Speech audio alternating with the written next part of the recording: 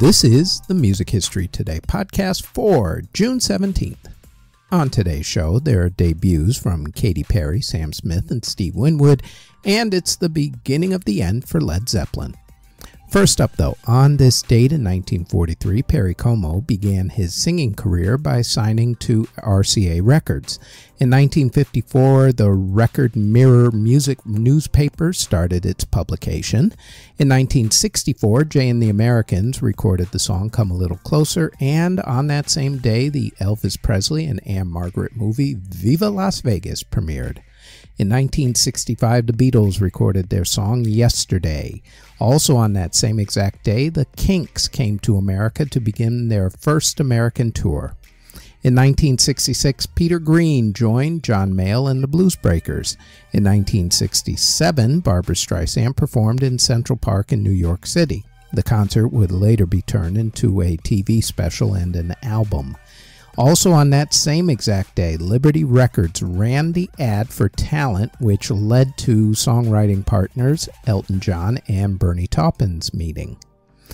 Also in 1967, Otis Redding headlined the Monterey Pop Festival. In 1970, Led Zeppelin started their last tour of Europe. In 1972, Ron Pigpen McKernan played with the Grateful Dead for the final time as he left the group due to health issues. In 1973, Dolly Parton recorded the original version of the song I Will Always Love You. In 1977, Judas Priest performed in America for the first time. In 1980, Led Zeppelin started what became their final tour. In 1981, Roger Waters played with Pink Floyd for the last time. In 1983, Glenn Frey married artist Janie Beggs. Also in 1983, the Glastonbury Music Festival in England got underway with UB40 and Curtis Mayfield headlining that year. In 1988, Bruce Springsteen and his wife, actress Julianne Phillips, separated. In 1994, Aerosmith cut Megadeth as their opening act after Megadeth frontman Dave Mustaine complained that Aerosmith should have been opening up for Megadeth, not the other way around. In 2000, Kevin Richardson of the Backstreet Boys married Kristen Willits. In 2016, Tom DeLonge of Blink 182 said in an interview that the reason why he originally left the group was because he wanted to investigate UFOs. Yep, that happened. In theater, in 1979, the musical Sarava closed on Broadway. In 1995, the Broadway musical Tommy by The Who closed. And in 2019, the musical A Strange Loop opened off Broadway. In award ceremonies that were held on June 17th, in 2009, Taylor Swift was among the big winners at the Country Music Television Awards. Albums that were released on June 17th include in 1961 when Elvis Presley released Something for Everybody. In 1969, Elvis Presley released From Elvis in Memphis. In 1972, the Eagles released their self titled album. In 1976, LaBelle released Chameleon. In 1977, Crosby, Stills, and Nash released CSN. In 1978, David Gilmour released his self-titled album. In 1985, Orchestral Maneuvers in the Dark, or OMD if you prefer, released Crush. In 1987, The Replacements released Please to Meet Me, and Natalie Cole released Everlasting. In 1991, Foreigner released Unusual Heat, and Van Halen released For Unlawful Carnal Knowledge. In 1994, Ghost released Temple Stone. In 1997, 38 Special released Resolution. Blink 182 released Dude Ranch. Megadeth released Cryptic Writings. The 10,000 Maniacs released Love Among the Ruins. And Neil Young and Crazy Horse released The Year of the Horse. In 2002, Peter Gabriel released the soundtrack to Long Walk Home. In 2003, Sam Cooke released Portrait of a Legend 1951 to 1964. Finger 11 released their self titled album. Bryan Adams released Live at the Budokan. And Steve Winwood released About Time. In 2008, Katy Perry released her album One of the Boys. Also in 2008, Judas Priest released Nostradamus, and Rick Springfield released Playlist The Very Best of Rick Springfield. In 2011, Bon Iver released Bon Iver, Bon Iver. In 2013, Bob Dylan released A Long Time A Growin', volumes 1 through 5.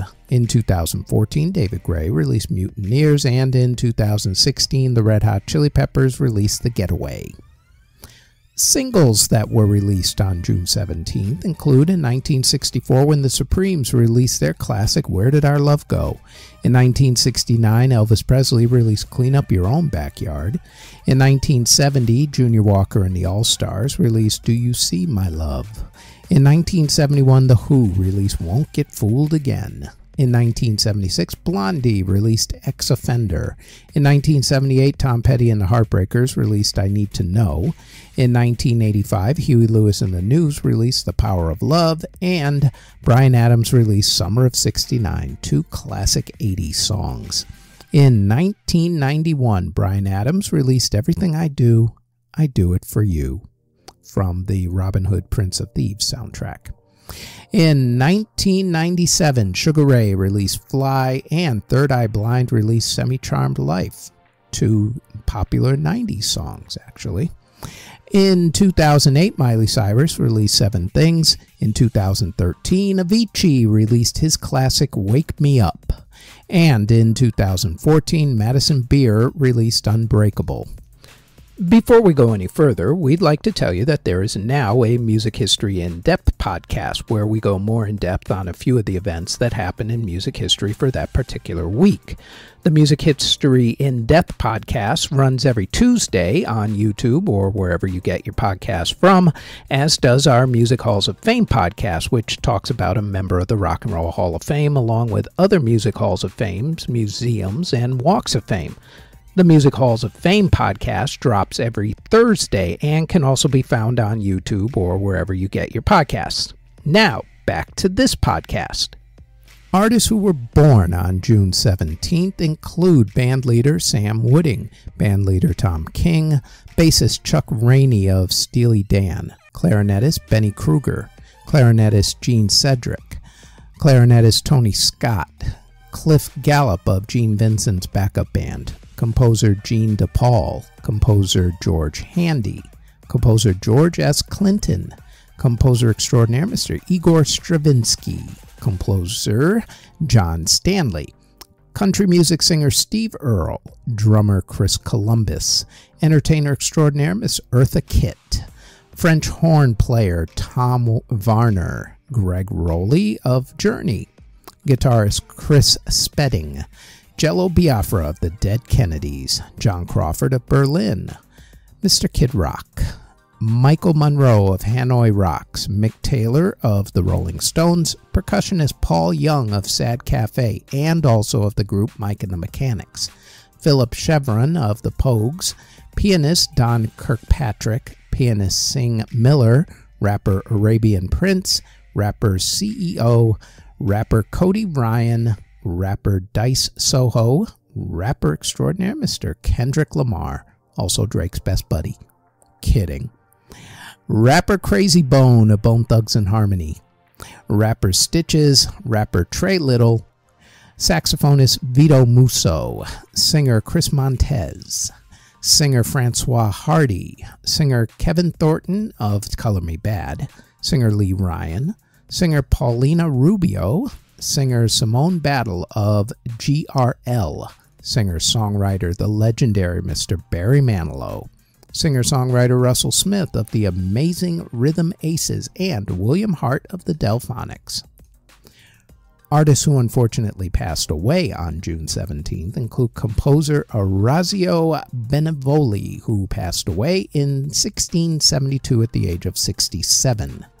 Composer Johann Wagenaar passed away in 1941 at the age of 78. Composer Carl Vogler passed away in 1951 at the age of 77. Composer Alberto Williams passed away in 1952 at the age of 89. Composer Walter Niemann passed away in 1953 at the age of 76. Guitarist Danny Cedrone passed away in 1954 at the age of 33. Music director Lou Frizzell passed away in 1979 at the age of 59. Composer Peter Mennin passed away from cancer in 1983 at the age of 60. Legendary singer Kate Smith passed away in 1986 at the age of 78. Fiddler and singer Dewey Balfa passed away in 1992 at the age of 65. Composer Francisco Escudero passed away in 2002 at the age of 89. Karl Mueller of Soul Asylum passed away from cancer in 2005 at the age of 41. Gospel singer Ronald Winans of the group The Winans passed away in 2005 at the age of 48. Jazz trumpet player Enrique Majewski passed away in 2005 at the age of 69. Composer Julian Slade passed away in 2006 at the age of 76. Classical record producer John McClure passed away in 2014 at the age of 84, and rapper Prince Be of the group PM Dawn passed away from complications from diabetes in 2016 at the age of 46. Next on the Music History Today podcast, it is June 18th when in 1942 Sir Paul McCartney was born.